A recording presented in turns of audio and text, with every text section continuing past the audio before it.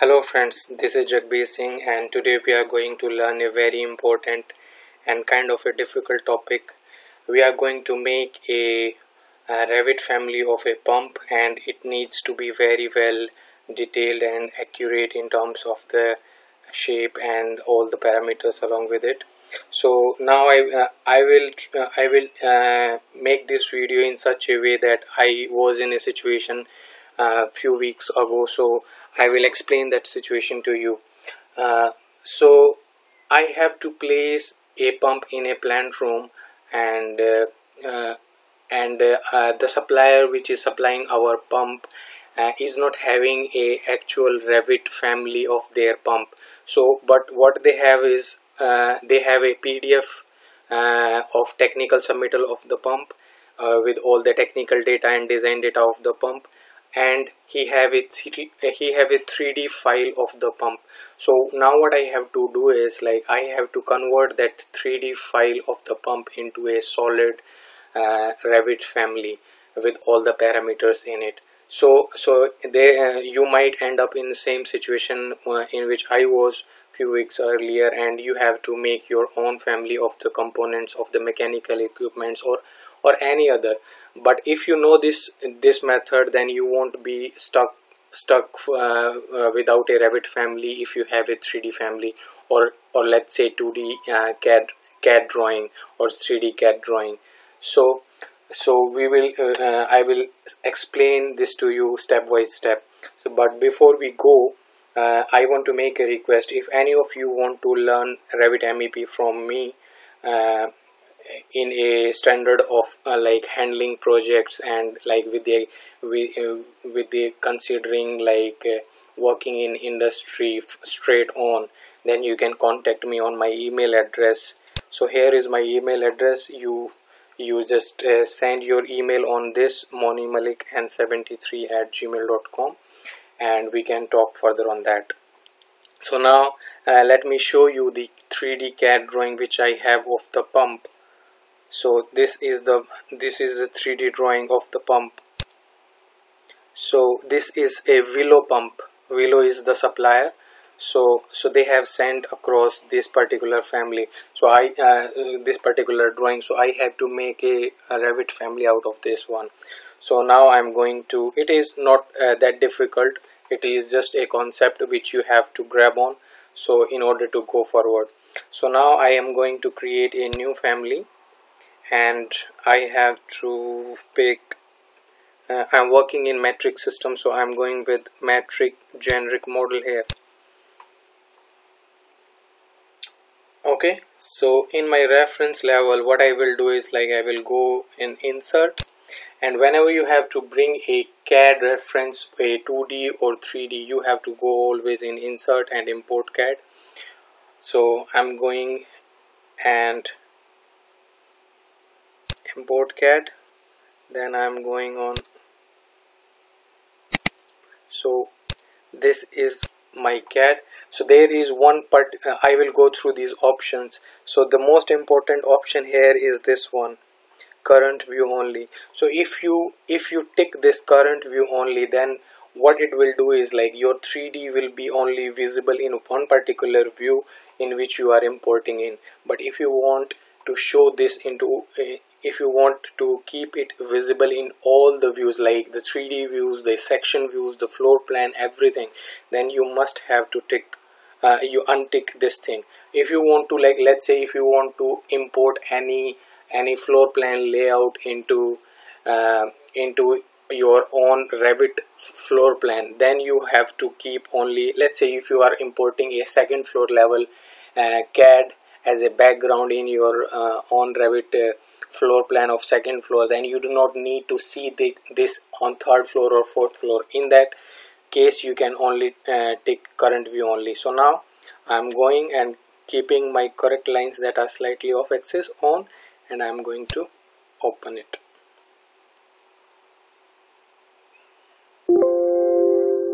Okay so now you can see uh, my uh, my 3d CAD is imported. I have to unpin it. Now if I go in my 3d view and I keep this fine and shaded you can see it is converted into a solid. But that's not how it's done because if you go into reference level you see this family seems very big so to cross check and to validate that information I have a technical submittal of that pump which is supplied to me by the supplier. So let me show you that. So this is the 2d and this is the technical data of that pump. So in which you can see the from the controller to controller the width is 400 okay? And and the total height of the pump from the lowest point to the uh, to the top of the pump to or top of the controller is 252 plus 59 so I have to scale my drawing according to the to the units which I am currently using in my project. So I have to make one uh, one uh, side equal to an uh, equivalent unit of my project so so let's say we are keeping uh, like 59 plus 252 so so let me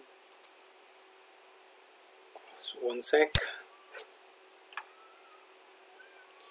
So it is 59 plus 252 equals to 311 okay so I have to go here and select this. I have unpinned it and move it.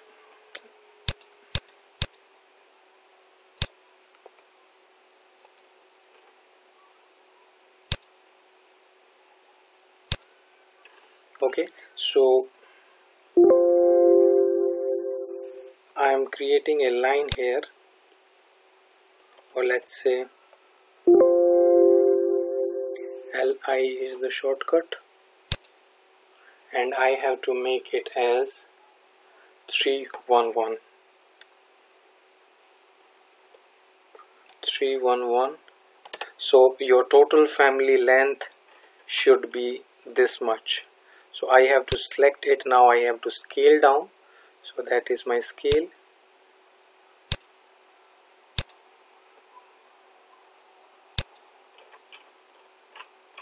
okay. So my total height should be this much. So if I again further go and scale down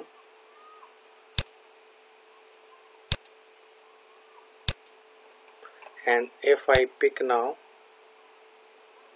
so I'm from the topmost. Again I have to scale it.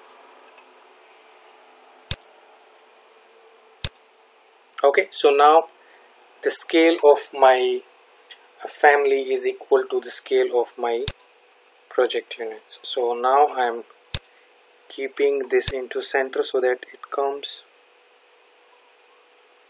I want to control by the uh, by the connection points of the pipe. So these two are the flanges of my family. So now I can show you in 3d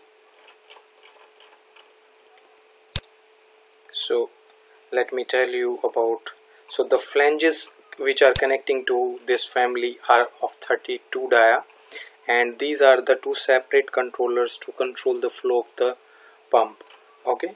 So now what I have to do is like I have to create two connections to this family so that it can be connected on both sides on my project to the pipes of same diameter without any reducer. So what I will do is like I will go in create and I will go uh, my pipe connector and I'm selecting this edge. When I'm going on to outer edge it will give me a blue line as my face. So I'm selecting this and same I will do on the other side. So I'm selecting the outer what the, it is the internal. So this is the outer again. So now you see the two connectors are very big. So I will select and I will cross check how big they are. I will go in diameter. So my diameter it was saying in my technical submittal as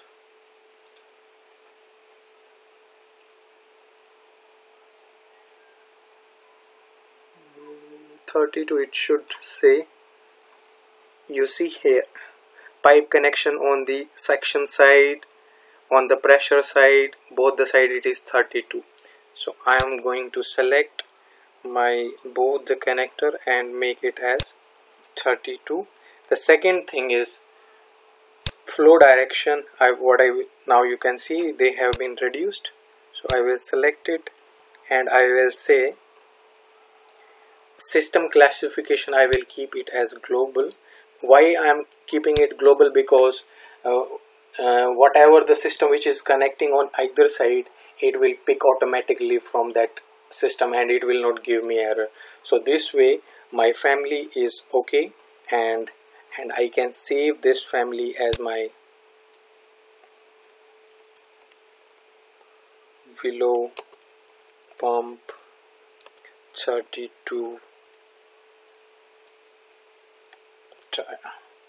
okay so I can save it. Now I have saved it into 2019 always save try to save your families into the oldest version not the earliest version because in that way you can always update them. So so I have a request to all of you that please like this video because it uh, it I, I I know it is very difficult to find such videos because when I have to learn I do not find like the problem uh, solving videos. So please like the video because it helps me to reach out more people and really motivates me. And please subscribe to my channel because I will be keeping posting such videos related to project problems and and together we can learn. So this is Jagbir Singh. Thank you. Jai India. Jai Bharat